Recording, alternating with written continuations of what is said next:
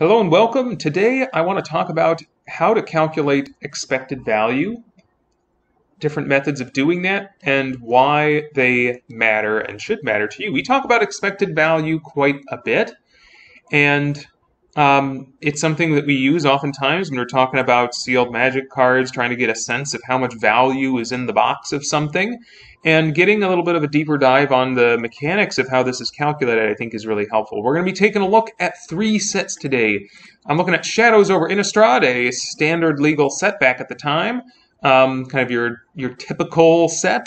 We got Jumpstart, uh, kind of oddball supplemental product, and then we've got Modern Horizons 1 as our other point of comparison, sort of our master style set um, even though it's not really a master's product, kind of a supplemental thing. But I figured it was a nice thing to throw into the mix as a point of comparison. So first up, um, for those of you who are uninitiated, perhaps the whole idea of EV is you're getting a sense of if I crack open a pack of this set of, let's say, Jumpstart, what is my on average value of the cards in that pack?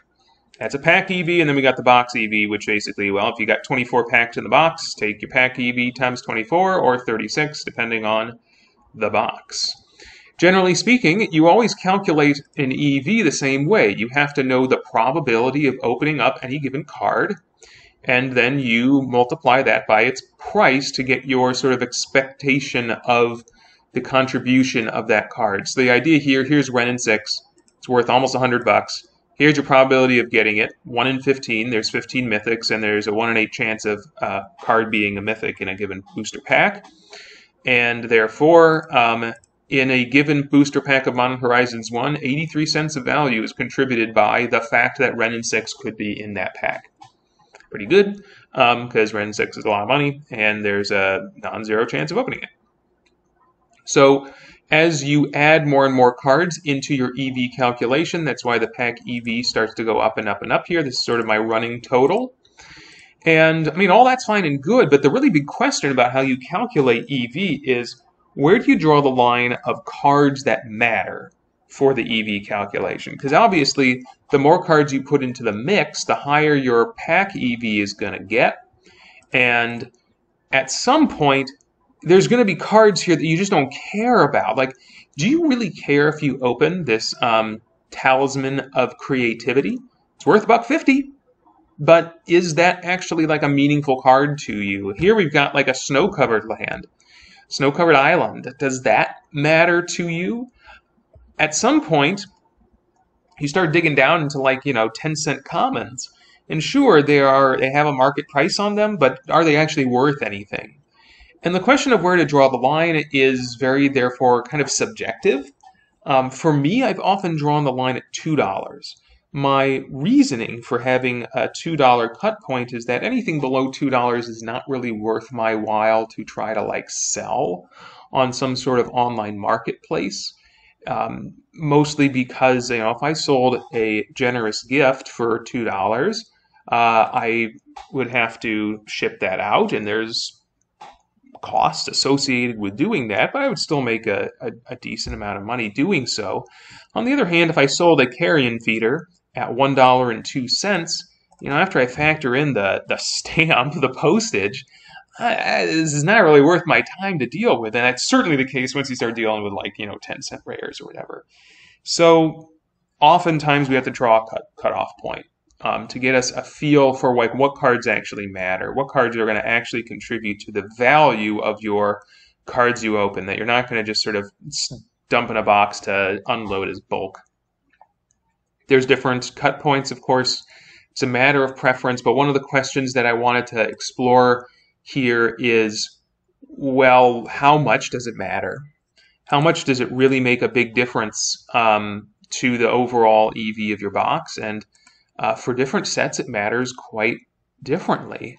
And that's that's kind of shocking, actually, to kind of get your head around this. So let's look at Modern Horizons 1. If you put the cut point at $2, you get a box EV of 260 and 50 cents. Now, I want to point out one quick thing. I'm only calculating non-foil stuff here. I'm not dealing with the foils. Uh, if you add in the foils, your EV is going to go up quite um, quite a bit. I just didn't deal with the foils because it's just a, a, bunch of more columns in the spreadsheet. It's a bunch of TDM and didn't want to deal with it. My points here are still going to probably be valid even if you threw in the foils. Um, the interesting thing for Modern Horizons 1 is that if you count these $1 to $2 cards, there aren't that many of them, but they matter a lot because you're looking at some a freaking common in here. You're looking at basic lands and a couple of uncommons. You know, those are high probability cards, and that's going to contribute a lot then to your EV. And so, actually, if you um, include these one to two dollar cards, that boosts your value of your seal box by almost forty five dollars. That's a lot. I mean, that's like uh, you know 16, 17 percent of your box EV would be from one to two dollar cards if you took this price down here as your EV, three hundred three dollars and seventy cents. Um, that's that's substantial. So it matters a lot here because of the nature of the cards you're now including in your calculation. Here in Jumpstart Land, the, the story is very different. Um, these one to two dollar cards don't actually contribute all that much, only about five dollars.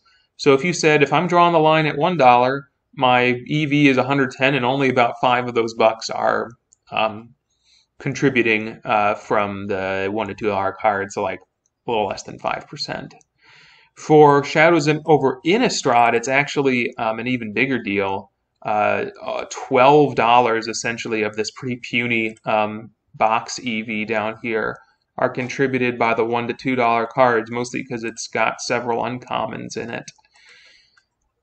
One thing I wanted to do to visualize this is by uh, making some graphs, and I'll share those with you because I think they're kind of neat. What you're going to see here, here's your cutoff price. Obviously, if you make your cutoff price very, very, very high, your EV is going to be very, very low. Because if I'm only counting $10 and above, right, that basically eliminates most cards out of the set. And as you dig deeper, deeper in lower prices, your EV will go up and up and up. So that gives you a sense of things. To me, it does look like there's an overall sort of linear trend here, though it does sort of have a bit of a curve here. Um, Jumpstart actually looks very different. It's much smoother, linear style here as you go deeper into the cheaper cards. Jumpstart is kind of a weird set, though. The probabilities and all that stuff are just a little different. Here's Modern Horizons 1. Um, it looks linear for a while, let's get Jumpstart out of the way, shall we? Um, here's Modern Horizons. It looks linear for a while and then sort of does this curve at the end, mostly because as you start to dig down into the lower prices, you're going to start uncorking all of those high probability cards the commons, the uncommons, the basic lands, and that really changes things. So, does that mean there's one right way to do this? I don't think so. I mean, I think it's a judgment call. I mean, some for somebody, a 50 cent card might matter in the EV of what they're opening. Um, but if you're like a big um, trying to flip cards, like you're trying to crack these boxes open and um, just flip them, uh, you know, anything one to two dollars might not be worth your while, worth your time, or I don't know. I mean, you have to think about this sort of stuff as you think about EV. So. Um, I hope that you learned something here. I don't think there's a definitive answer. Um, my, you know, my particular personal preference happens to be that sort of $2 cutoff point, but other people might feel differently. And now, at the very least, you can see how those different things actually make a difference. So, um, hope you learned something from this. Thanks for sticking with me for almost 10 minutes.